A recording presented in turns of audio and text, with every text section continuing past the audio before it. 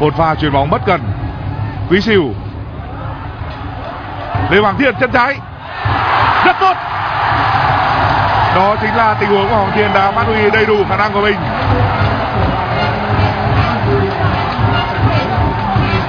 Trong một ngày sung sức, hoàng thiên có thể làm nên những điều kỳ diệu.